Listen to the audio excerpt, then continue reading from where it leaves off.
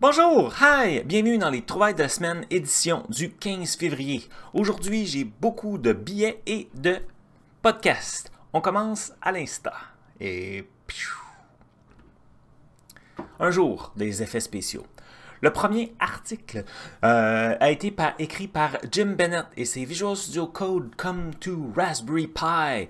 Eh bien, dans cet article où on peut vraiment sentir la fébrilité de Jim, il nous raconte que maintenant Visual Studio Code ou VS Code pour les intimes est maintenant disponible directement à partir de Raspberry Pi. Et pourquoi c'est si intéressant? Mais dans le fond, Raspberry Pi est un ordinateur complet mais très minimaliste qui est disponible et très peu dispendieux. Donc maintenant, les étudiants peuvent apprendre Python et différents langages directement à partir du même éditeur. Donc c'est très convivial, très facile. Il y a un outil pour toutes les plateformes. Donc très très très intéressant. Le prochain article que j'ai trouvé aussi très intéressant, euh, Master these three skills to improve your time management. Euh, j'ai lu beaucoup de bouquins, je suis sûr que vous aussi des articles sur comment mieux gérer notre temps. Maintenant que la plupart d'entre nous, si ce n'est pas tous, travaillent de la maison, on doit mieux gérer notre temps, c'est très difficile, c'est très important puisque maintenant il y a l'horaire de d'autres personnes, peut-être des enfants, donc ça devient plus important. Cet article-là va vraiment aller dans le détail, propose d'excellentes idées, donc c'est vraiment un must à lire cette semaine. Le prochain article, What is a Azure Function? Euh, ça nous décrit un peu c'est quoi le serverless, l'offre de Microsoft, qu'est-ce que c'est. Euh, donc un, un, article très intéressant qui va nous expliquer qu'est-ce que c'est et comment créer notre première Azure Function. Donc très intéressant. Le prochain article est Creating a Run Game in Vue.js. C'est la troisième partie. Donc c'est une série JavaScript, un framework. Euh, je ne connais pas Vue, j'étais intéressé. Présentement, je crée un jeu pour m'amuser en JavaScript et aussi pour apprendre le JavaScript avec mes collègues. On utilise React dans notre cas, qui est un autre framework. Donc, j'étais curieux un peu de savoir les mécanismes, les structures, l'architecture. Donc, c'est pour ça que j'ai lu cet article-là. Très intéressant. Donc, c'est pour ça qu'il s'est retrouvé dans les lectures de la semaine. Le prochain, How to install Windows software remotely using PowerShell and Chocolatey. Si vous ne connaissez pas Chocolatey, c'est un must. Vous devez faire une petite recherche et regarder Chocolatey ou débuter avec cet article qui nous explique comment, avec des outils très puissants, on peut installer des applications à distance. Pourquoi c'est intéressant? Pourquoi c'est utile? Mais comme on disait juste précédemment, il y a énormément de personnes maintenant qui travaillent de la maison. Et bien pour maintenant les administrateurs d'ordinateurs, c'est plus difficile parce qu'on ne peut pas faire le tour du bureau et mettre à jour tous les ordinateurs ou installer tous les logiciels. Donc, avec ces deux outils-là, maintenant, on serait capable de contrôler ou en fait d'aider les personnes qui sont distantes pour pouvoir installer les outils nécessaires à leur travail. Les deux prochains articles font partie d'une série par Brady Gasper, super intéressant à propos du nouveau .NET et comment en open source on fait des API pour qu'elles soient bien structurées, bien architecturées. Donc très très très intéressant. J'ai hâte de voir les articles 3 et 4 qui s'en viennent sûrement prochainement. Donc le premier c'est Open Source HTTP API Package and Tools et le second c'est Creating Discoverable HTTP APIs with ASP.NET Core 5 Web API. Très long titre, très difficile à articuler, mais excellent à lire. Prochain article, c'est pas vraiment un article, c'est plus une annonce.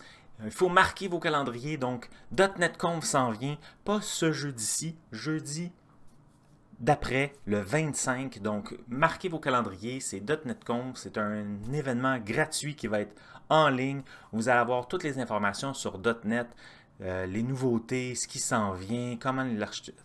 Beaucoup, beaucoup, beaucoup d'informations. Donc, très intéressant à noter. 25 février, dans quelques jours. Prochain article nous vient de Julian, donc Fun Time with Batch File. Moi, j'ai trouvé ça intéressant parce que j'étais en train moi-même de me battre avec différents processus en automation et tout. Donc, j'ai trouvé ça intéressant d'avoir quelqu'un d'autre qui faisait, de savoir comment il pense. Donc, ici dans cet article, dans le fond, il veut minifier euh, certains fichiers JavaScript et, euh, CSS. il nous explique qu'il a changé sa méthode, puis il y a eu quelques embrouilles, puis finalement, il s'en est bien sorti. Donc, un petit article très intéressant, surtout si vous faites de l'automation. Je suis sûr que ça va aller toucher des petites cordes sensibles. Ici, un article très intéressant, Scheduling Integration with Azure Health Bot par Grégory. Donc ici, c'est un article qui nous permet de voir les opportunités qu'il y aurait avec la super pandémie qu'on connaît tous. Euh, donc d'utiliser le, le Health Bot, on peut l'intégrer pour maintenant aider les personnes. Ouh là là.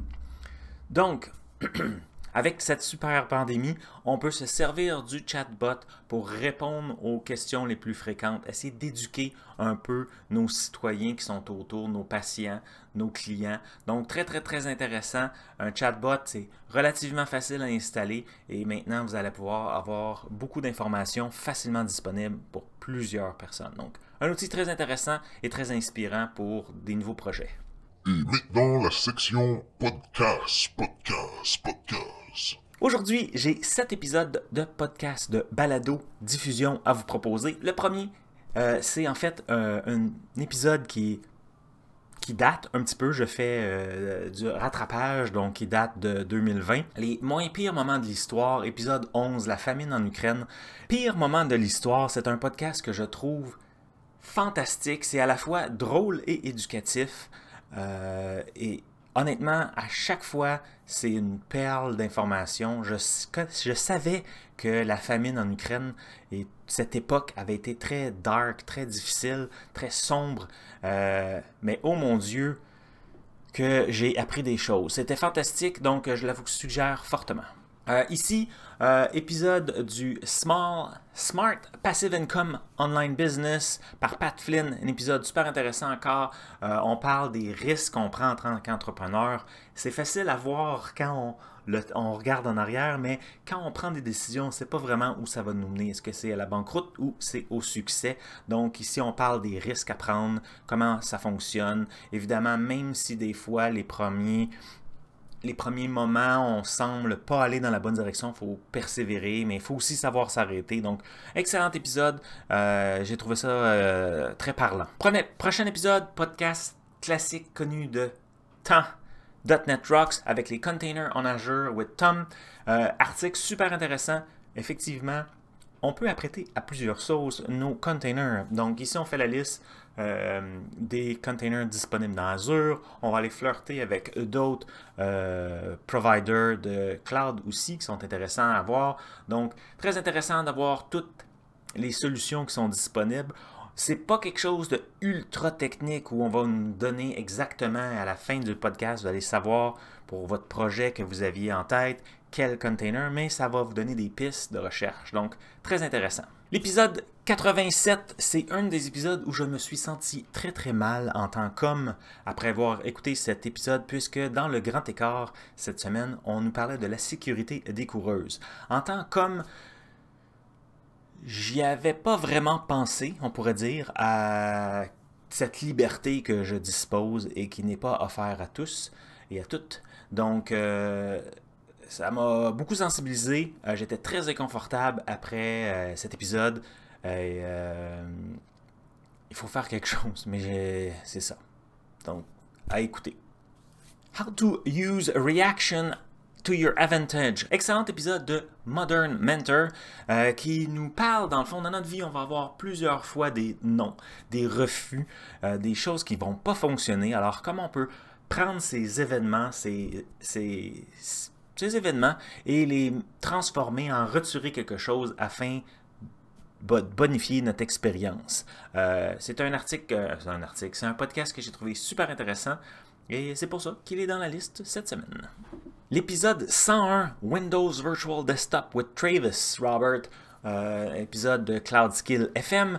Euh, très intéressant aussi. Dans le fond, on voit quelqu'un qui était un peu plus infra, comment il a évolué, comment maintenant c'est difficile de voir comparativement à par le passé, de s'imaginer une structure, une solution de notre parc informatique sans considérer une partie étant dans le cloud. Donc, euh, très intéressant, ça m'a rappelé des discussions que j'ai eues il y a quelques années avec des collègues, ou d'anciens collègues, je devrais dire, Très intéressant à écouter. Ansel Minute, un classique dans les podcasts. Euh, épisode cette semaine, The Myth of Turning Your Hobby into a Job with the writer Eiley Iron.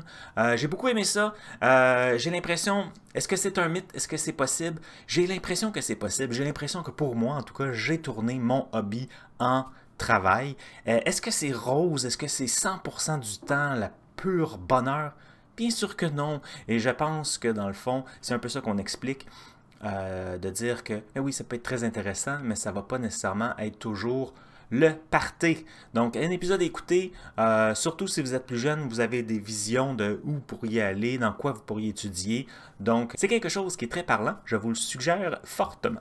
Et voilà, c'est déjà tout. Tous les liens vont se retrouver dans la description et sur le blog post sur mon blog Frankie's Note. J'espère que ça vous a plu. N'hésitez pas à écrire tous les commentaires, toutes vos questions juste en dessous et on se retrouve la semaine prochaine.